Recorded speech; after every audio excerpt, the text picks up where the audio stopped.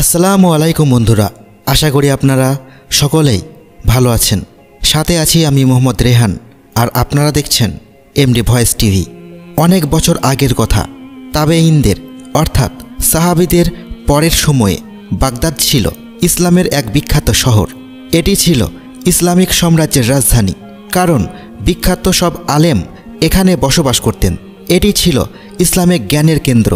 একদিন রোমের রাজা একজন দূতকে মুসলমানদের উদ্দেশ্যে তিনটি প্রশ্নসহ পাঠালেন। দূত তখন বাগদাদ শহরে এসে খলিফাকে জানালেন যে, সে রোমের রাজার কাছ থেকে তিনটে প্রশ্ন এনেছে। মুসলিমদের চ্যালেঞ্জ ছুড়ে দিচ্ছেন তার উত্তর দেওয়ার জন্য।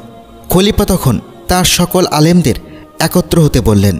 তখন সেই রোমান দূতটি একটি উঁচু স্থানে দাঁড়ালেন এবং বললেন, আমি এসেছি তিনটি প্রশ্ন নিয়ে। যদি আপনারা এর উত্তর দিতে পারেন তাহলে আমি এই স্থান ত্যাগ করব এবং প্রচুর ধনসম্পদ রেখে যাব, যা আমাকে রোমের রাজা উপহার হিসেবে দিয়েছেন। তখন সেই রোমান দূতটি উপস্থিত সকল আলেমদেরকে বললেন, আপনারা মন দিয়ে এই প্রশ্নগুলো শুনুন। প্রথম প্রশ্ন হল, আল্লাহর আগে কি ছিল? দ্বিতীয় প্রশ্ন ছিল, আল্লাহ কোন দিকে মুখ করে আছেন? আর তৃতীয় প্রশ্ন হল, এই মুহূর্তে আল্লাহ কোন কাজে নিয়োজিত আছেন? প্রশ্নগুলো শুনে সবাই চিন্তায় মগ্ন হয়ে গেলেন।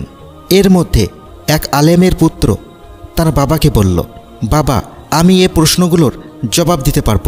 ছেলেটি তখন খলিফার কাছে এই প্রশ্নগুলির উত্তর দেওয়ার জন্য অনুমতি চাইলে খলিফা তখন তাকে অনুমতি দিলেন। প্রথম প্রশ্নের জবাবে ছেলেটি দূতকে জিজ্ঞেস করল, আপনি কি গুনতে জানেন? রোমান দূতটি তখন বলল হ্যাঁ জানি। তখন সেই আলেমের পুত্রটি বলল, তাহলে আপনি দশ থেকে শুরু করে উল্টো দিকে গুনুন। তখন রোমান দূতটি গুনতে লাগল।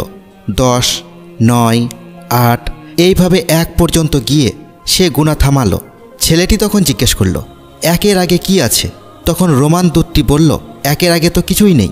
তখন সেই আলেমের পুত্রটি বলল, ঠিক আছে, গাণিতিক একের আগে যদি কিছুই না থাকে, তাহলে আপনি কীভাবে আশা করেন এই এক এবং অদ্বিতীয় আল্লাহর আগে কিছু থাকবে, যা নিশ্চিত সত্য, শাশ্বত, চিরস্থায়ী সুস্পষ্ট? ছেলেটির স্পষ্ট উত্তরে লোকটি হতভম্ব হয়ে গেল। কিছু অস্বীকার করতে পারল না। এরপর সে জিজ্ঞেস করল, তাহলে এখন বলো, আল্লাহ কোন দিকে মুখ করে আছেন? তখন বালকটি বলল, একটি মোমবাতি আনেন এবং তাতে আগুন জ্বালান। তার কথা মতো মোমবাতি এনে আগুন জ্বালানো হলো। বালকটি দুধকে জিজ্ঞেস করল, এখন বলুন, আগুনের শিখা কোন দিকে মুখ করে আছে? সে বলল, এটা তো চতুর্দিকেই আলো ছড়াচ্ছে। এটা কোনো একদিকে নির্দিষ্ট নেই। তখন ছেলেটি বলল, যদি এই বস্তু চতুর্দিকে আলো ছড়াতে পারে, তাহলে আপনি কীভাবে এরকম অনুমান করতে পারেন? আল্লাহ সম্পর্কে, যিনি আকাশ ও পৃথিবীর অধিপতি, সকল আলোর আলো, আল্লাহ সকল দিকে যে কোনো সময় মুখ করে থাকেন। রোমান দূত তখন তার দিকে অবাক দৃষ্টিতে তাকিয়ে থাকল। তিনি অবাক বিস্ময়ে অভিভূত হলেন। এতটুকু একটি ছেলে তার সব প্রশ্নের এত সাবলীলভাবে উত্তর দিচ্ছে যে তার যুক্তি প্রমাণের কাছে সে কোনোরূপ দ্বিমত পোষণ করতে পারছে না। তাই সে বেপরোয়াভাবে তার শেষ প্রশ্নটি করতে উদ্যত হলো।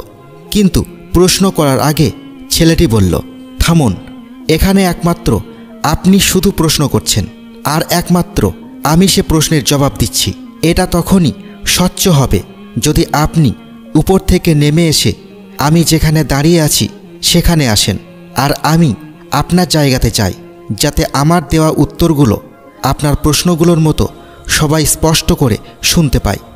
ছেলেটির এই আহ্বান রোমান দূতের যুক্তিসম্মত মনে হলো। তাই সে তাই সে উপর থেকে নিচে নেমে এলো এবং ছেলেটি তখন উঁচু স্থানে দাঁড়াল। তখন দূত কয়েকবার জোরে জোরে তার শেষ প্রশ্নটি করল, বলো, এখন আল্লাহ কি করছেন?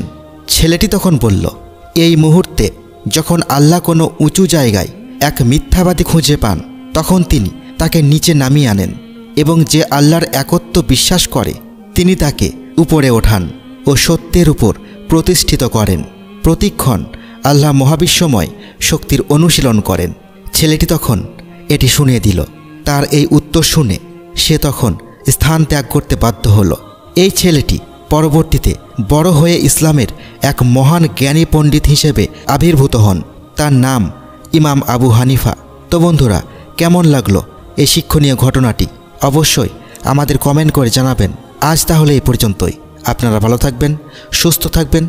আল্লাহ হাফিজ।